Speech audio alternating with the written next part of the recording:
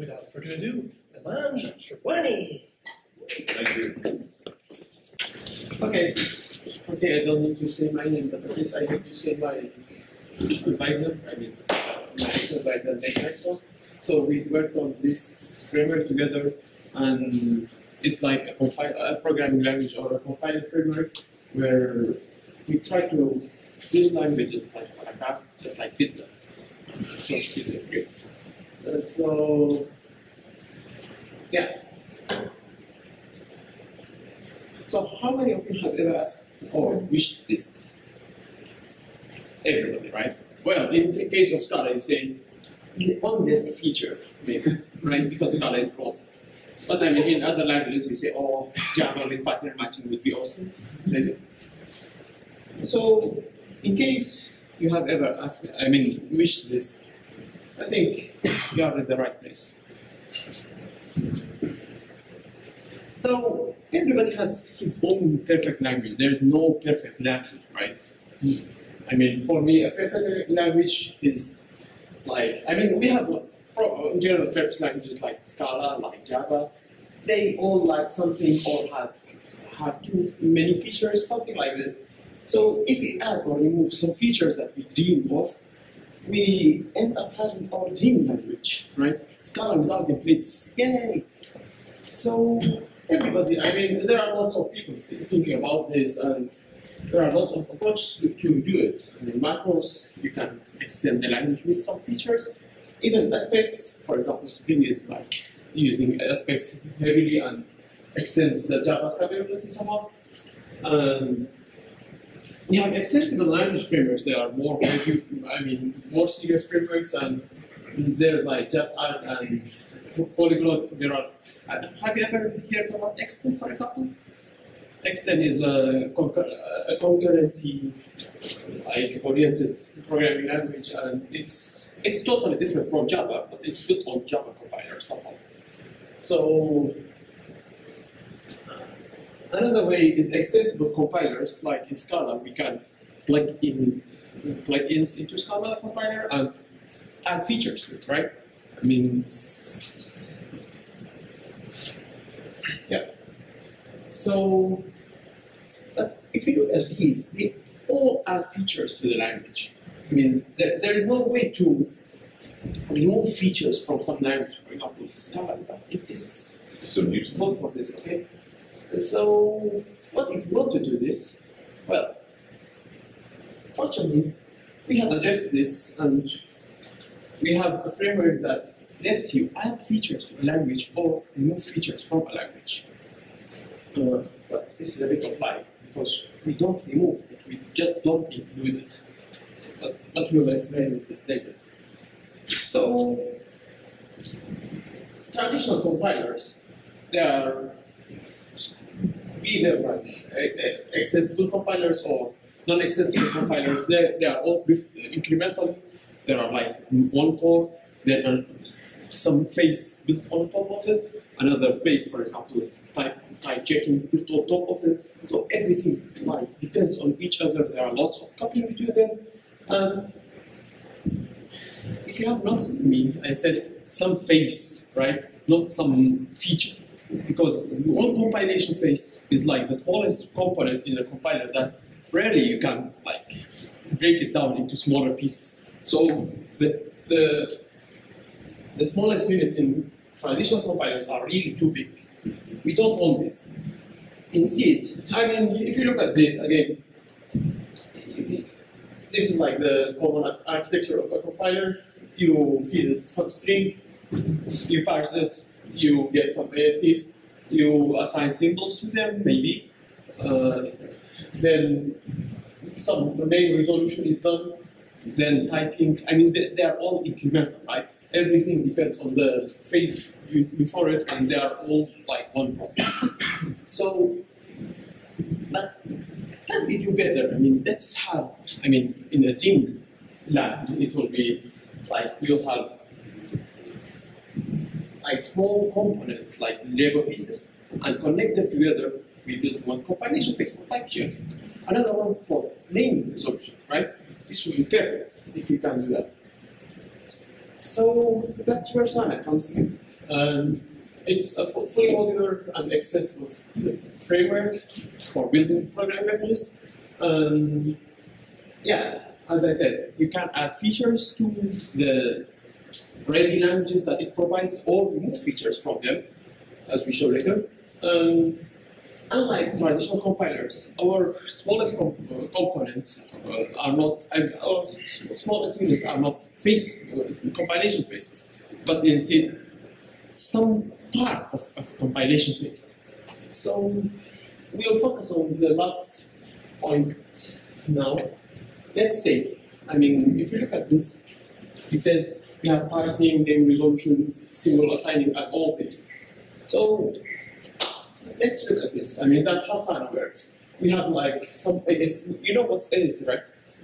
Like, I mean, every everything in programming language is expressed in some three kind of tree, right? One for let's say method definitions, one for variable definition, uh, identifier, everything. So in traditional, actually I need a, or something. Okay, I don't have it. Can you see that? The remote is a laser pointer, Ah, okay. the laser button. Cool. So, so if you look at naming, this is like a compilation phase, and in traditional compilers, we provide one naming as one unit for every possible AST.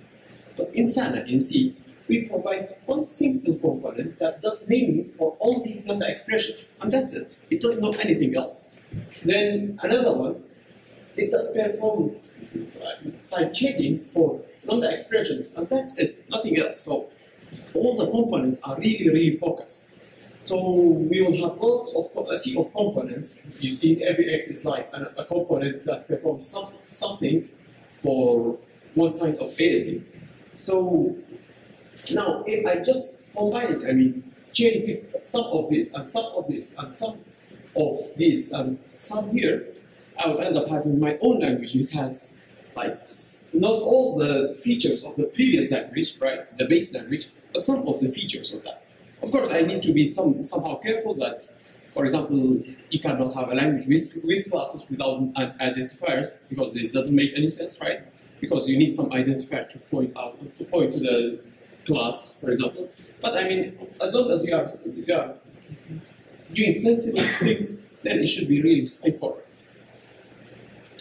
So, do you have any questions from this? Because this is the core of my talk. Is this the same idea as nanopass compilers? I not really. In non nanopass, you have like one a- one phase, and this phase transforms the AST to another kind of AST. So that and they are really really small too. But the idea is a bit different because a phase is like still one component and works on all the ASTs. So somehow it's different. What is naming? Naming is just well, when you have like an identifier and you have just parsed this. I, I mean, when you have a program and it has an identifier, like a variable name, and this variable name doesn't know to which variable definition it belongs. I mean, it points to, right? So name, naming does naming resolution for you. It tells you this identifier points to that. I mean, that definition. Is it like a link the variable to its type? Exactly. To its definition. So be it type, be it variable definition or whatever. So you say you have to be at least basically careful of this. Does the framework tell me if I'm not being careful, or do I have Well, sort? I mean, we haven't implemented this because this is really tricky, and you we weren't funded for this. so, but I mean, it, it's always a good idea to have this, but it's not easy. So, yeah.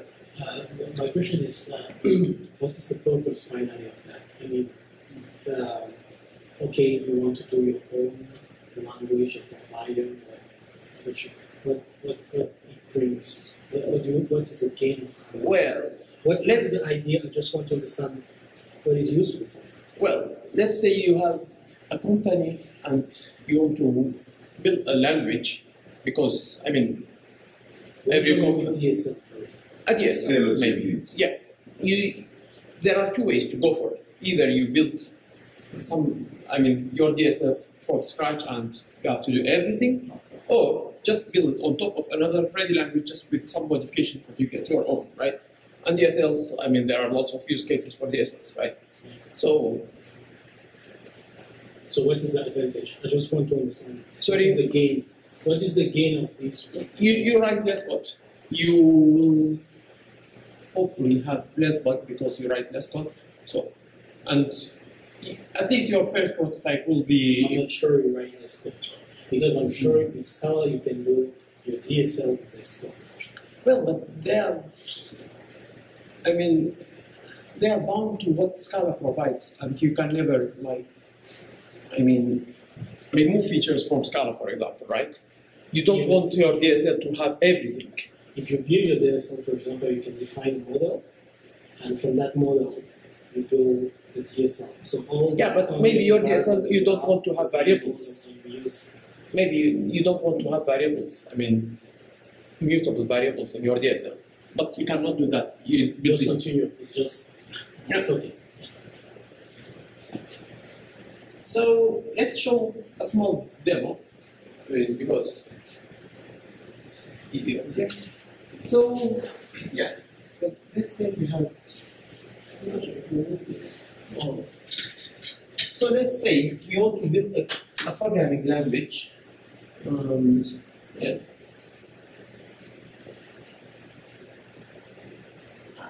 But you can see it. Right? Okay. Can you see what I'm typing? Yeah. Okay, good. So, okay, I, I want to build a language to have multiplication and and addition only. Okay, so it like does this one plus one or one maybe one. I mean, it's a very simple language. Okay, and then I want to change my language, build another language with without multiplication. So I will end up having this as a valid expression, this as non-valid expression. So just to clear things up, this is language one, this is two. Okay? So we will do something like this, and I want to show how easy it is. Okay? Uh, I mean, I, I know the language is really, really small, small, and like not challenging. You can do it, do it in Scala with maybe this much of code, but you can apply the same logic with more complex languages. So, in order to build a multiplication, I need an AST node. Actually, uh, in order to have like some notion of integers, to express integers, I have an AST node, I call it intlit, and another AST node for addition, I call it addition, add, I mean, another one for multiplication. So I, I will have my ASTs, then I, I build like type checker for integers, type checker for additions, type checker for multiplication, then just because it's nice to have it, I, I will have like some repeaters for multiplications, additions, and integers. Then I will implement the simple language and the, the bigger language. So for the ASTs, they are just normal case classes and traits and nothing special about them. Int lit, int lit or integer literal has like some value in it. It's int basically. Uh, just to, to, so- we know what values it denotes. For additions, it it has like two sides. Like every addition node should have like the left hand and the right hand side of it. So we will have like two expressions in the right and left hand side. Then the same thing for multiplications. I know we ca- we could have the same the same node, but I just wanted to have two. So, because we have type checking, I also introduce types. I mean, they are still fairly straightforward.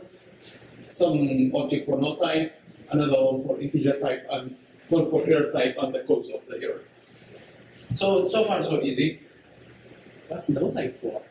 Sorry again? What is no type for? Uh, before type checking, everything has no type. Because it's not resolved. We, we I'm not sure if we use it. Maybe we do. Yeah, we do it here. actually. So,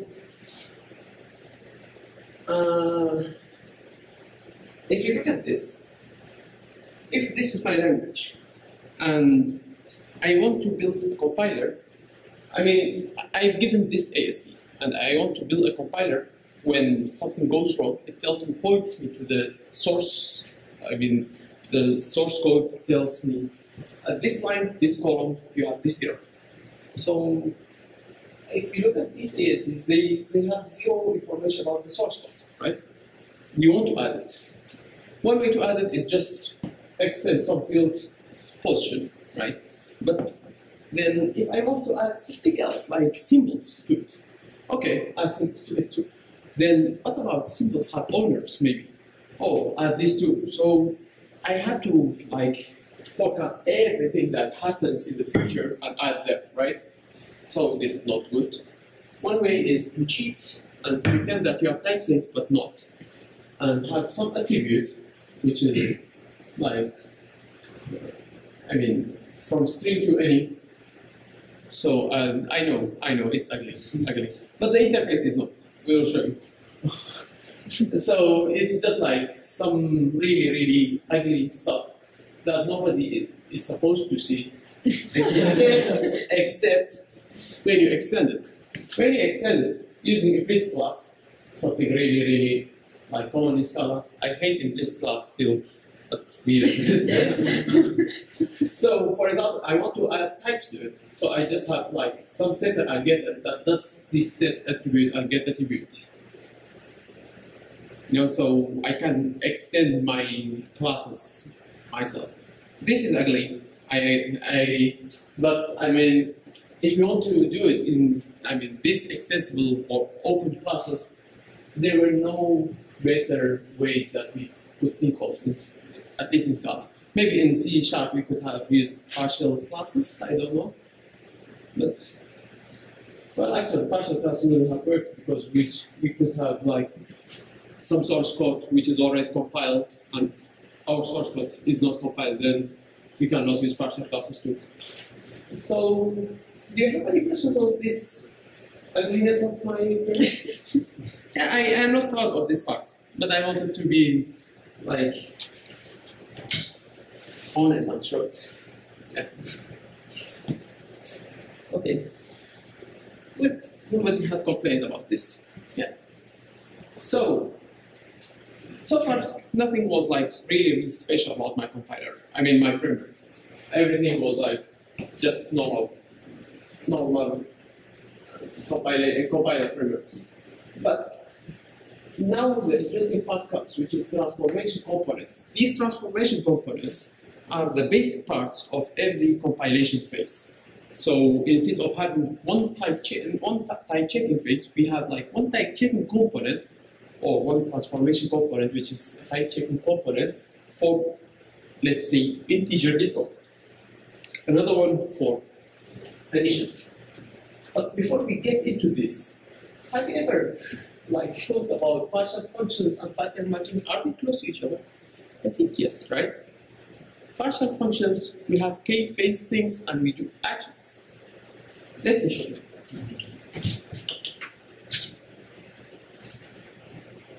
So, so if I have like expression match case int lit do stuff one, then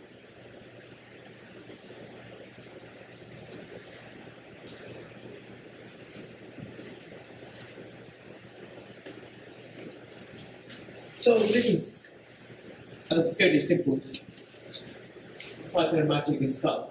Now, if I want to, I mean, if I've given this and I want to extend, I mean, I want to change priority between, I mean, add, yeah, if I, I have like some class which extends, I mean, this is in another source code, maybe another library at all. Okay, so we don't have access to the previous one, let's say. So this is some third party libraries. So if I have something mature uh, add which extends let's say at okay does more things. And I want to have priority for mature ad over the the add over there. And every time we have mature ad, let's say I mean I, I want to add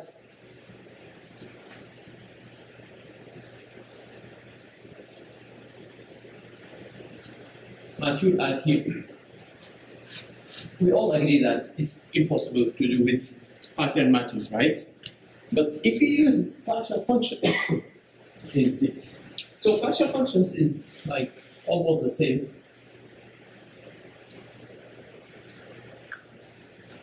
If we had this instead, val, let's say case one, this is one partial function, val case two, another part. You see, it's really similar, right? So now, if I say case one dot or else, case two dot or else, case three, this is one implementation. Another implementation I can add here my own addition val case 4, which is actually in this.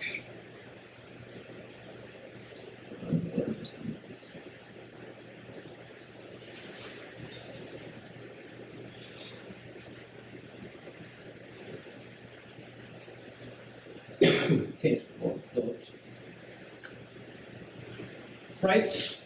It's uh, that way I can add my own I mean, like inject my own priority. I mean, my own case. I mean, so we use this idea to implement our like component. I mean, Lego like uh, implementation.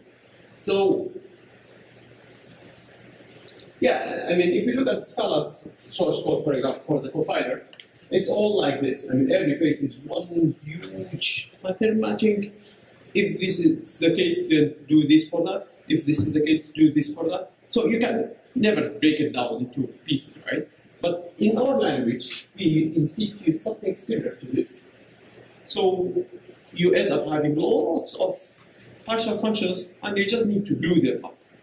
You know, Is there any advantage to do that uh, versus using type classes or something?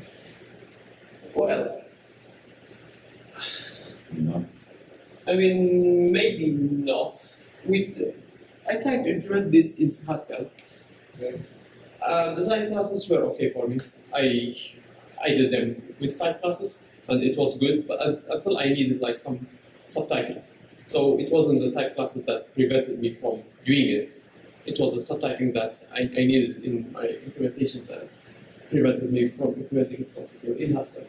So in theory, no, type classes do- does the same thing. But in Haskell, in Scala, the type classes that we it provides is not as good as the type class that Scala, Haskell provides. That's why we didn't use that type class. I mean, it, Scala just pretends that they have type classes, but they don't. Well, it works. Huh? It still works. Well, I mean, it's wordy, it's heavy, so I give you. So yeah. So, like I said, we use this idea when Yeah, all TVs were like that. Yeah. So, I, in order to implement a type checking, I mean, a type checking phase, again, I have nothing, just a simple trait, which implements this transformation component, which is basically a partial function with some more, like, utility functions. And it has one method that we use heavily. It's called typed. This type uh, should know, or eventually will know, how to type check every expression and and uh, like returns a type check expression or some non-type checkable expression that that's like unsound. So whenever we call type, we are guaranteed that it will succeed. succeed. Okay, so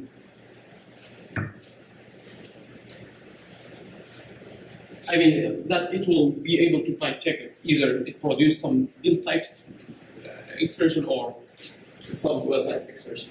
So to create the partial function for the integer literal, uh, we use some macro to transform this to like the apply and the is defined at method for us. So it's nothing, just some expansion, macro expansion. And yeah, for integer literal, we, does, we don't do anything. We just say every integer literal has type integer. Yeah, right. so unexpected. Yeah. So we don't have problems here, right? So integer literal was easy. I mean, uh, type, checking for it was easy. But for addition, it's a bit more involved because we have like two ex- sub expressions of it and we have to type check them too. So as I said, the type method in the in the like extended trait, the trait has, I mean, it is guaranteed to be able to type check everything, right? So we rely on this guarantee and we just type check the left hand side and right hand side of an expression. And if they were both integers, then of course an addition for two integers like results in an integer, right? So we just does this silly type checking, and if everything is like this, then integer, otherwise some error. Fairly straightforward, right? Except from the typed part that I will explain later. Again, this is a, a macro and it expands to uh, a really long partial function definition. Yeah. So, so far we have only created two components, and for multiplication you can do the same. It's the same thing, except we just say instead of add here and here, we just say mul, because it's the same structure, right? So, yeah. Now we have like two components, and if you want to create a compilation unit or a compilation phase, uh, sorry, out of these two components, or these three, let's say, pretend we had like multiplication tool, then what we would do is we just extend some transformation family, which again has some helper functions for us. Um,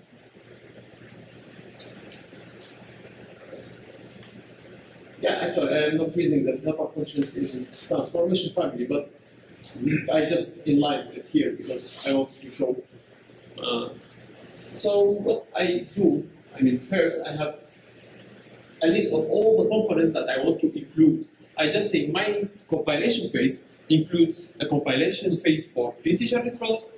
I mean, uh, sorry, I want to say that my type checking phase includes type checking for integer literals, a type checking for addition, and another type checking for multiplication. So I just list all the names that I have. Sorry again, this is a macro and the macros don't support anything else apart from string literals. I hate it, but we couldn't do it otherwise. I couldn't pass types to it. I know this is not type safe, but we are bound to start capabilities.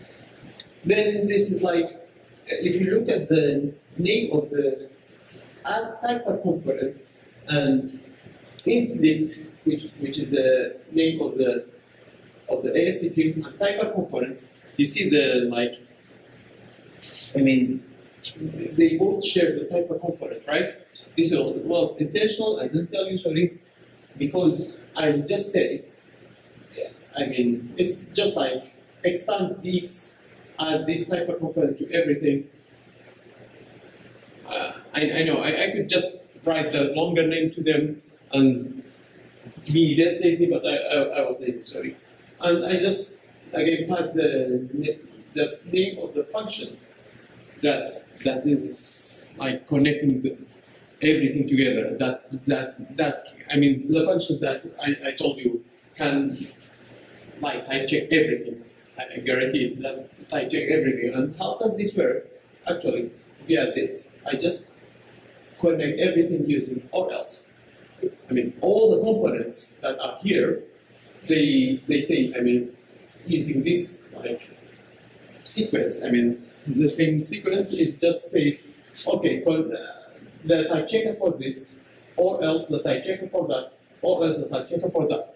So if you want to add your own language with one less, let's say, feature, you just don't include this here, and you'll still have the same the same result. I mean, you'll have a, a, a language with, with one less feature.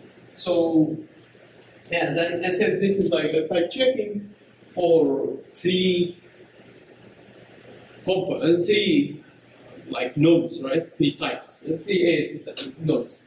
And if I want to have type checking for like only multiplication and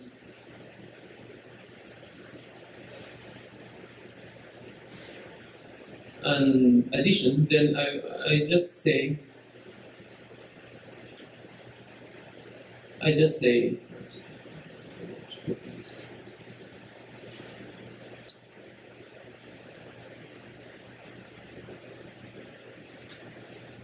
I just say, okay, don't include this, and I will have it. And actually, we, we can just ignore, I mean, just say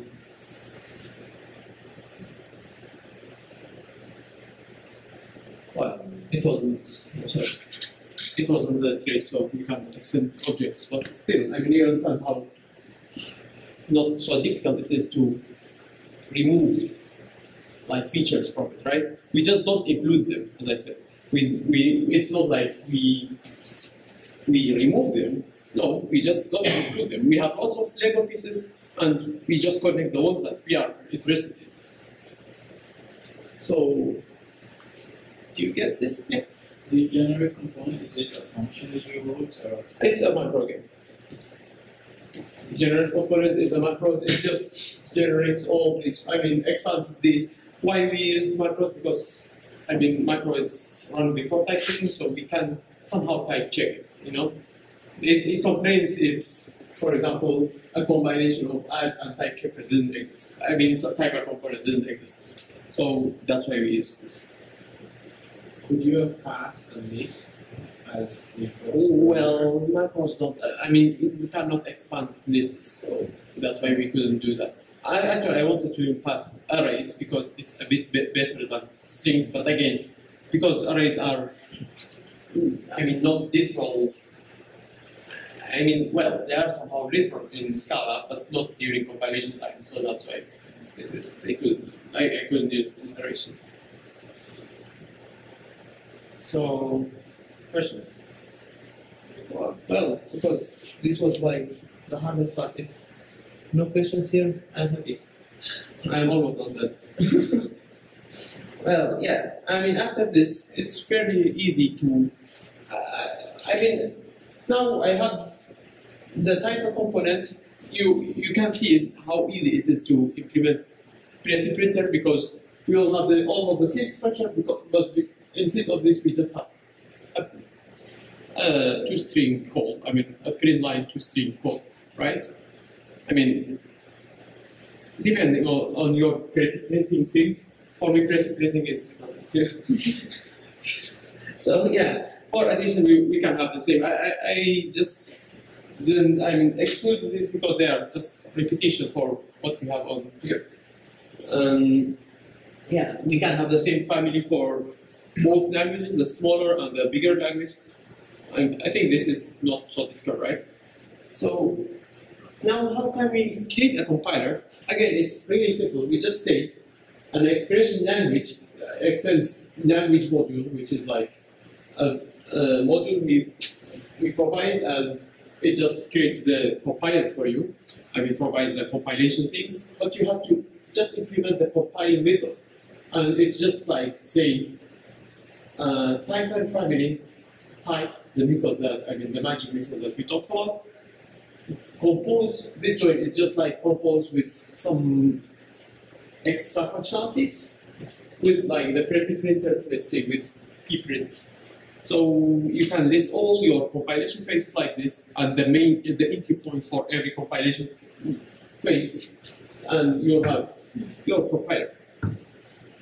Uh, I, I know this might like look really too much work to do, but believe me, this is easier than implementing it from scratch. You know, well, not for this language, uh, but for real languages it is, and I show you why. Just before we continue, if I want, I mean, if I want to, can, can you see this? Yeah. Okay, it's really small. I, I, I just want to show you that, I mean, when writing it, it's really easy to write, but when running some, I mean, compiling something on it, it's a bit heavy on the CPU. Um, for example, for a simple like addition, add, I mean, adding one plus two plus three, yeah, one plus two plus three, it it needs all these like going and coming from different components to different to the compilation uh, um, to the compilation phase until it's can type check. So don't expect it to be too performant. Actually, it is not too performant. It's not terrible, but it's good. yeah, use this for prototyping. Don't use this for production unless you write Scala compiler. Because believe me, I wrote the full Java compiler and it was faster than Scala's compiler. Yeah. But it's not not not not, not difficult to beat Scala compiler's performance. Everybody can do that.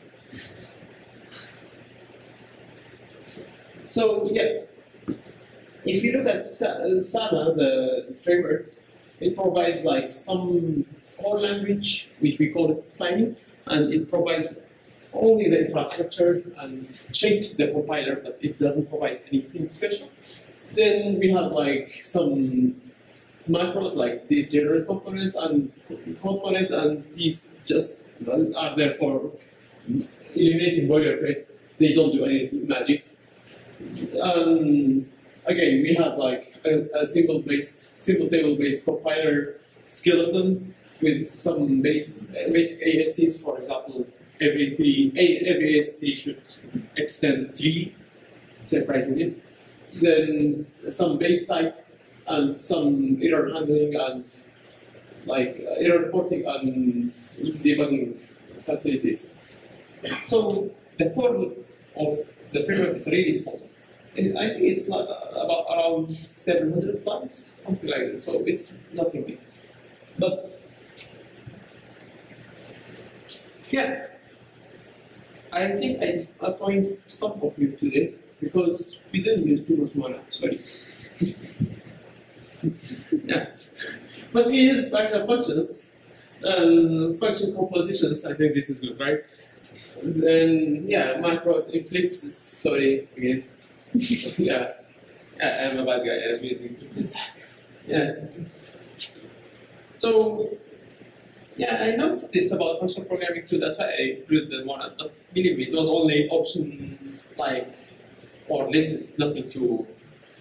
I mean, too deep. So to evaluate our code, I created a full Java compiler, like version one, which is almost like version eight with some minor changes. yeah, I mean Java never grows, right? Uh, so yeah, I because Java is big and we didn't want to implement the whole Java at once because it defeats our purpose. We first implemented some. I mean, uh, we first implemented. Uh, yeah, I I told you that the tiny is like s- 700 lines, right? So yeah, for the compiler, we first implemented some calculator part of Java, which is like the plus, the, the minus, I mean the binary operations, the unary operations, and and booleans, uh, logic operations, integers. I mean these primitives. So yeah, and this was like 939 lines of code, so it was big, but it it had all the the things that we needed for this, for example, I mean, for this part of the Java, for example, type checking, we didn't need name resol- resolution for it because there were no name in it, right? We didn't have variables, so why we should have name resolution? But we had something else, for example, uh, I, I think I exclude the parser here, but it had like some, yeah, it had some phases, for example, code generation and those, yeah, that's why it's a bit weak.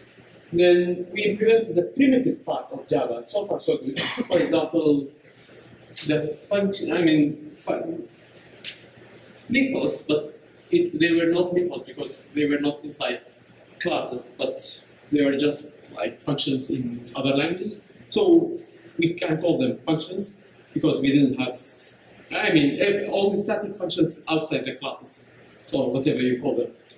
Uh, with like methods and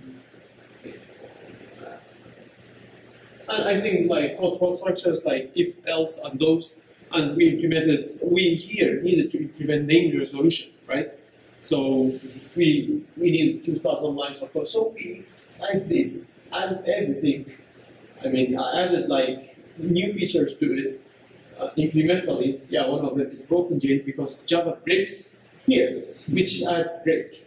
Yeah, this was a mistake. I mean, break and continue. So yeah, uh, yeah. Some. I mean, for, for example, here we have functions, but we don't have we don't have function. I mean, methods, right? But here we have methods, but we don't have functions. So one way is to just rewrite another function, I mean, method component and do everything. Another way was just to reuse what, what we already have and add things to it. And that's, of course, what we did. I mean, we just reused what we have here and add some constraints to them, and bingo, we went. Uh, yeah. And sometimes I think in more, yeah, I mean, I think in Robust J when we had try catch, we needed to again modify the functions because there we changed the signature of the functions now with potential to, like th- throws clause, right? So um, here we had arrays, but if you look at this, I mean, this this this is built on top of broken J, which which has no no object orientation. And if you know in Java, arrays extend object. But this array didn't extend object because it was a completely different language now. It's not a Java array, right?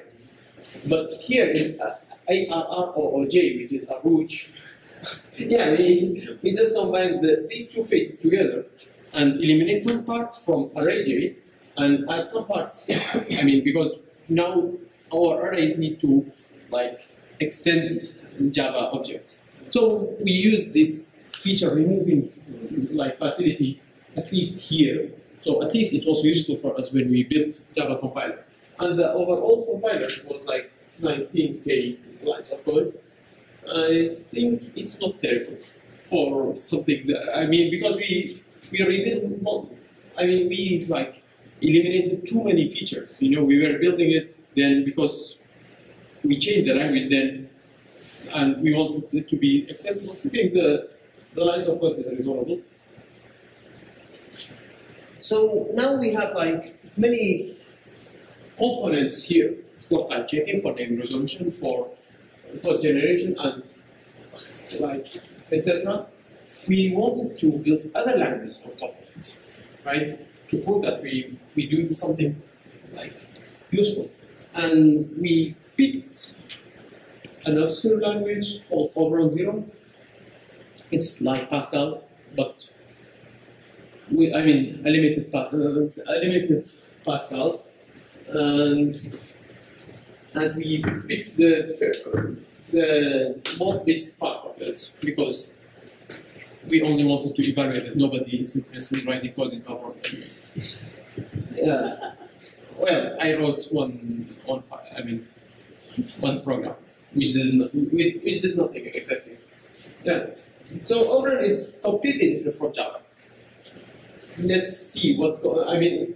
We, I mean, in Java, arrays don't have. I mean, the array type doesn't have a size, right? When you define a method that takes an array, it doesn't specify what should be the size of it. In Oberon, no, we have sizes. So this is one difference.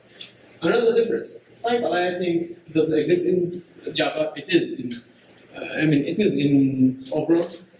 Uh, type inter- inference, of course, Java lacks it, but except for in generics. Um, in Oberon, we have only for constant variables, so important. I mean, yeah. Then we have structural subtyping in Oberon. We have like nominal subtyping in Java. We say what we are we are extending in Java, right? So in in Oberon, we don't have any object like superclass of everything. In Java, we do. Uh, methods in Java can be overloaded. In um, Oberon cannot be. So if you look at it, it's really, really different. And I still could implement the whole thing in only one, around 1,000 lines of code. So, I, I mean, I just had to make the changes, right? I didn't need to re-implement everything in order to implement the Oberon zero. Actually, this was like a challenge that was made, I think, in 2006, if I'm not mistaken. Back then, I was doing my bachelor, so I was in the challenge, and I, I mean, the results. I mean, I did my, I mean, my, my I mean, I like did the did my work in 2016, so this is like 10 years after, but I still could beat them. I mean, everybody who was like building this Oberon zero using their own frameworks, after 10 years, I beat them. Yeah. So, oh yeah. Another thing, she talked about it like two months ago, I think, right? The previous Scala meetup tool. time flies. So it's like a DCCT language. It's a dynamically uh, dynamic, and it's it stands for distributed cloud Data the data centric cloud types, right? Yes. So she wrote it. She wrote it, not me. And she had, I mean, she, well, it was like a joint work, but she had to learn the framework, and she could learn the framework in less than a month, I think, right? And started using it. Uh, so again, this is a different language. It doesn't have. It doesn't have. It has dictionaries like Python, but not arrays. Uh, it has records with constructors. I don't know what is this. Is. I mean, it's like struct with with constructors, but not classes. Yeah, but it's not class. I mean, it's something in between. You You know. don't have inheritance. Yeah, it, they don't have well because it's it's not class. They don't have inheritance. Then the primitives are different than what we have in Java. So again, the language is different, and what's I think the type checker is done, and most of the parts are done, but it's still the language is not finished. But what is there is like still under one one thousand lines of code. But still, it was a completely different language, uh, and yeah. So we are doing well when it comes to lines of code. Let's see how we are doing when it comes to performance. Not so good. Well, not so terrible too. So I compiled the Java 1 library, which is like 14,000 lines of code with my machine. You saw how terrible it was, like seven, several minutes ago it didn't start. So yeah, this is the the of it. And yeah, I used 2000, 211 Java, uh, I mean Scala with JVM 1.8. I run like the compiler on this uh, library for five times, and I record the average, which was like 16 seconds to compile the whole library and generate the bytecode, of course. But unfortunately, or fortunately maybe, Java's compiler can do it in 2.5 seconds. I'm ashamed, but not too much, because when Scala compiles my source code, which is 25,000 lines of code, it, it would have taken like, eh, it, it was taking like one minute or something like this sometimes with SBT overhead. So I, I am doing terrible when it comes to performance, but not as bad as SBT. So, but I mean, after all, our compiler wasn't optimized at all. We didn't aim for performance, we aimed for accessibility. Um, I think it's it's not terrible. Uh, I'm not too unhappy about performance. So, if you are interested, the source code is available here in my GitHub account, and yeah. Back here.